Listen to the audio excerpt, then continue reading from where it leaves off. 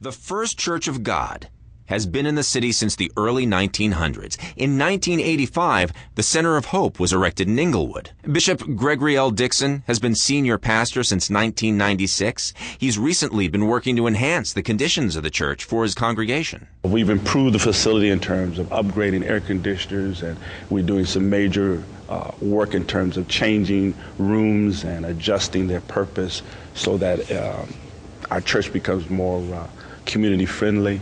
Um, if you had come a few months ago, the, the, building was a different color. If you had come a few months ago, um, you wouldn't see quite as much green as you see now. So we've done a lot of work, and we're still in the process of changing and upgrading. Uh, we're involved in a two year program to really try to give a good facelift, try to position us to go into the future. And uh, so that's what we're involved in.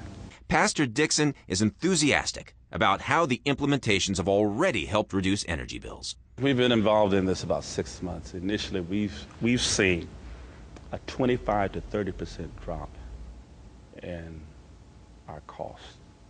And that's understanding that rates do increase, but we would have been in worse shape if they had not come through and begin to evaluate what we're doing. So uh, our business office tells us that uh, the savings were immediate in terms of that first month or two. We saw a 25 to 30 percent drop, which is a good thing for a congregation of our size.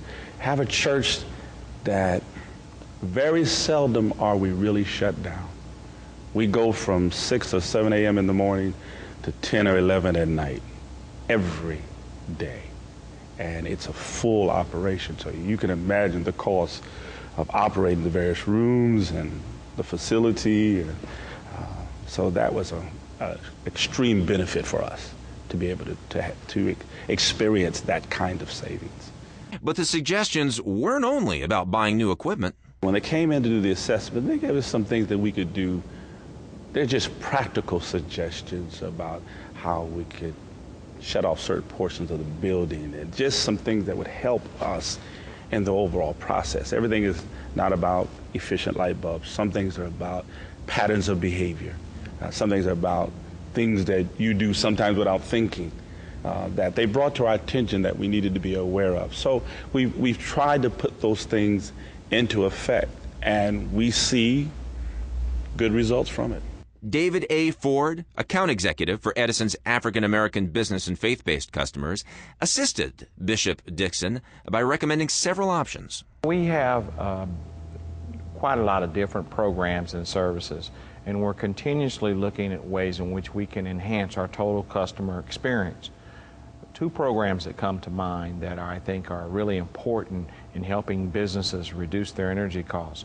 One is our Business Incentive and Services Program, and that provides rebates for our customers in lighting, window film, air conditioning, refrigeration equipment that they would upgrade or replace to more energy efficient equipment.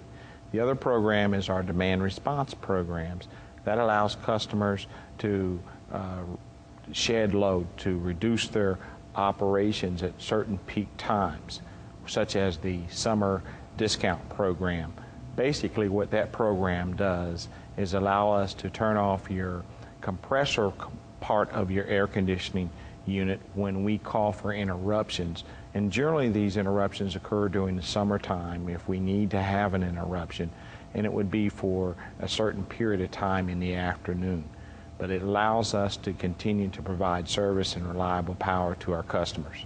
Mr. Ford gives us some insight into Edison's in depth look at this church through their on site audit. We're here in a church. A church uses tremendous amount of lighting during the weekly services and Sunday morning, as well as air conditioning to keep the atmosphere in the church and heating to keep the atmosphere in the church uh, comfortable to their membership when they have services. So we can look and assess different areas of energy conservation based on uh, the uh, visual or, or actual information that we have identified in the church during our audits that we pass on those recommendations to the church uh, that will enable them to become in more energy efficient. And what will Edison's relationship with the First Church of God be like in the future? I think that we'll be able to expand on some programs and services that we can offer to this church.